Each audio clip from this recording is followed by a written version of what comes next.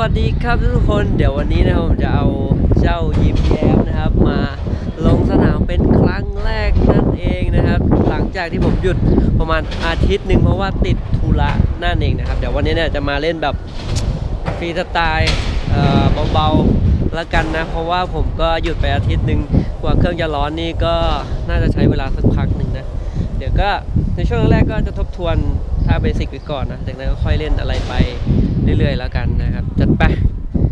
กับยิ้มแย้มไม่เอี่ยมนะครับ ไม่เอี่ยม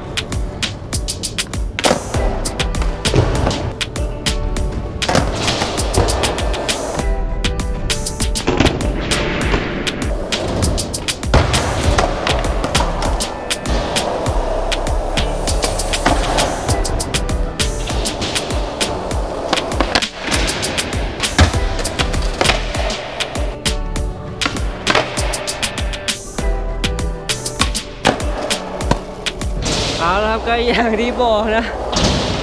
ค่อนข้างที่จะใช้เวลานานพอสมควรในการ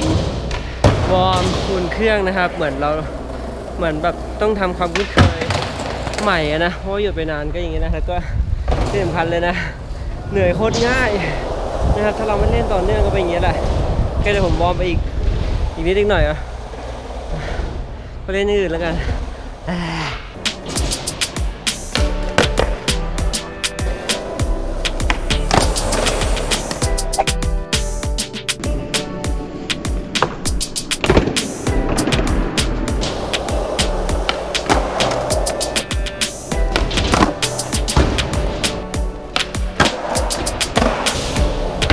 โอเค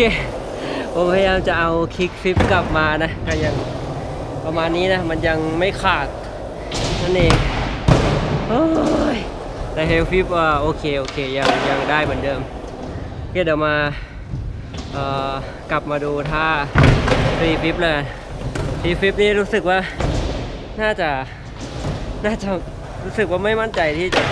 ได้เลยนะครับ เพราะว่าหลังจากนั้นก็ผมก็หยุดหยุดไปนะ ไม่ได้ได้ฝึกต่อ อย่างว่านะครับผมหยุดอาทิตย์หนึ่งเฮ้ยก่อนหน้านี้ผมจะพามาดูนะครับสำหรับคนที่แบบเปิดบอร์ดซิงซิงแล้วเจอแบบนี้นะครับเห็นไหมครับรอยไหมครับ นี่มีอยู่ 4 จุดเลยนะครับ ถ้าใครยังไม่รู้เนี่ยมันเกิดจากล้อเนี่ยมันมันมันไปโดนกันเองมันไป มันลงมาโดนตรงนี้เอง มันจะโดนช่วงที่เราเกระโดดออลี่เล่นท่าต่างๆนะเวลาลงมามันจะใช้น้ำหนักค่อนข้างจะเยอะ มันทำให้ไอ้ล้อตัวเนี้ยชนกับบอดนะครับทำให้เป็นรอยแบบนี้นะครับ เพราะฉะนั้นก็ไม่ต้องแปลกใจแต่ว่าจริง ๆ แล้วถ้าชนมันจะทำให้เบรกด้วยนะเเบรกแล้วหัวทิ่มเบรกแล้วหัวทิ่มถ้าถ้าเมื่อไหร่บอร์ดหยุดแล้วมีรอยแบบนี้ก็แสดงว่าเออบอร์ดมันเบรกนะ ก็พยายามไขหาทักให้แข็งแข็งขึ้น หรือไม่ก็ไปเพิ่มยางรองทักให้มันสูงขึ้นประมาณนี้นะครับ เบื้องต้น โอเค เดี๋ยวเราไปดู3 flip มาดูอีกนิดหนึ่งนะครับว่าจะได้หรือไม่นะเหนื่อยแล้วครับ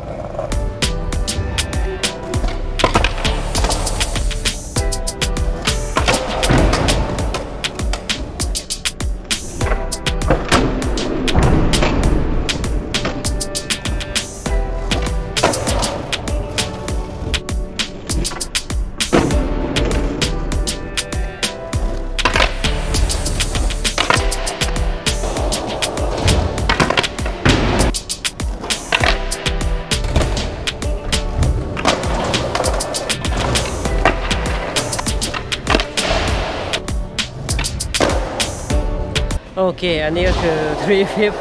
เกือบลง เกือบลงนะครับ มันอย่างอย่างที่บอกนะ ต้องฝึกอีกเยอะพอสมควรนะครับมันเหลืออีกนิดเดียวนั่นแหละ คือไปฝึก ไปฝึกเยอะๆนะครับ โอเค เดี๋ยวยังไงลอง 50 อะไรต่ออะไรไปนะ นี่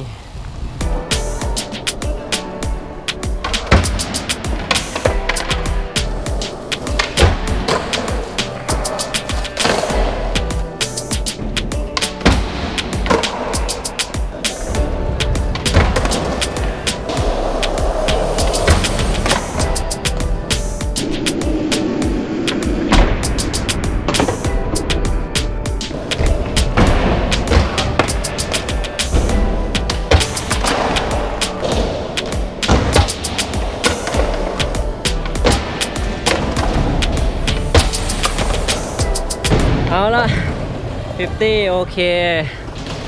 nose nose slide ก็พอได้อยู่นะครับ ส่วน crooked นี่แบบหายไปเลยนะคงต้องล้างใหม่ฝึกใหม่อีกแล้วนะ crooked แบบรู้สึกว่ามันเออมันทำไม่ได้เหมือนเดิมแล้วอะ่ะ ไม่ได้เล่นนานนะครับ เดี๋ยวยังไง เดี๋ยวยังไงเดี๋ยวขอ kickflip ให้ลงแล้วกันนะเดี๋ยวจะได้ปิดวิดีโอเพราะว่าเริ่มหมดแรงแล้วโอเคเดี๋ยวลองคลิกคลิปก่อนนะครับ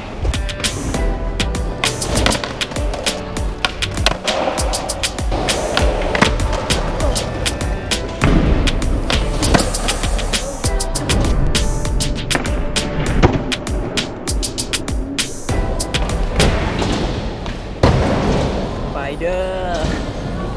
โอเคแล้วนี่ก็คือkickflip ของผมนะมันแบบอาจจะลงไม่ดีแหละ ที่ผมต้องที่ผมติดอยู่ตัวใน kickflip ก็คือเออเวลาปาดเนี่ยผมยังติดปาดขึ้นอยู่นะครับ มันทำให้สะบัดไม่หลุดนั่นเอง ผมก็พยายามบังคับปาดให้มันไปลงมานิดนึงนะครับ เพื่อให้บอร์ดเนี่ยมันจะได้ คลิปอยู่ข้างล่างเท้านั่นเอง แต่ตอนนี้จุดสำคัญคือผมไปสะบัดไปไปฟิปขึ้นตลอดนะฮะเตะขึ้นตลอดมันก็เลยเป็นอย่างนั้นนะก็แกแกอยู่ทุกวันนะครับ เหลือแค่นั้นจริง ๆ เหลือแค่นั้นนะครับคิกฟิปผมเฮ้ยเรื่องแก้นี่แบบอย่างยากเลยนะถ้าใครฝึกมาแบบไหนนี่แบบต้องมาแก้ที่หลังนี่แบบโคตรแบบใช้เวลาเลยนะครับ เหมือนแบบเราเคยทำแบบนั้นมาแล้วอะแล้วมาทำแบบนี้มันก็มันก็จะเป็นสภาพเนี้ยดัดยาก ก็สำหรับวันนี้ก็รีวิวเอ่อยิ้มยิ้มแย้มเพียงเท่านี้แล้วกันนะยิ้มแย้มอยู่ไหน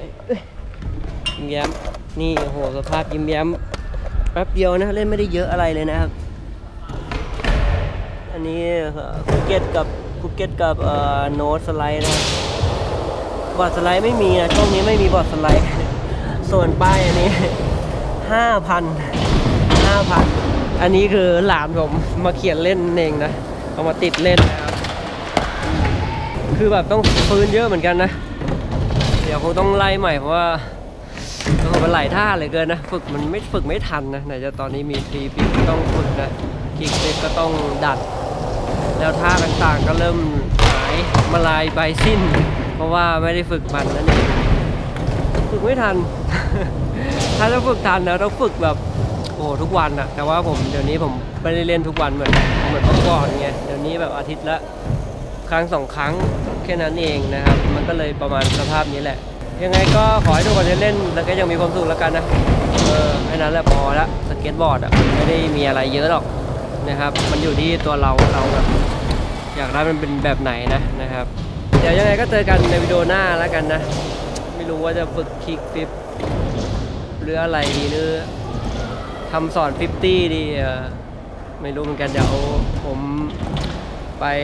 วางแผนมาก่อนแล้วกันนะ เราเจอกันในวิดีโอหน้า ขอบคุณที่ติดตามชม ขอบคุณที่ไลค์ ขอบคุณที่ subscribe ขอบคุณที่ดูมาตลอด แล้วกันไม่ทิ้งไปไหนแล้วแล้วเจอกันในวิดีโอหน้าอย่าลืมชีวิตเกินมาแล้วออกไปเช็คซะบายบายคลิกฟิปคลิกฟิปต่อ